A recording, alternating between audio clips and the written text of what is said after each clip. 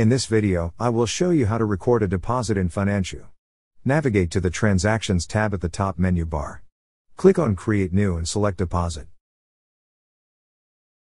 On the New Deposit page, you will find all the relevant details required to capture a deposit into Financio.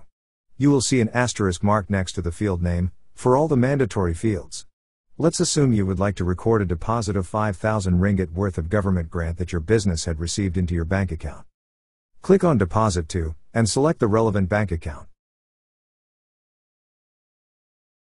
Next, select the relevant payment method. Now, scroll down to add more details of the deposit. Click on Add New. Begin by selecting the account you would like to indicate where the money is from. You may want to key in the relevant information in the description field for your reference. Enter the value in the amount field, and click Save. Lastly, after checking all the details, scroll to the top of the page, switch the status from draft to approved. Scroll down, then hit save. That's it.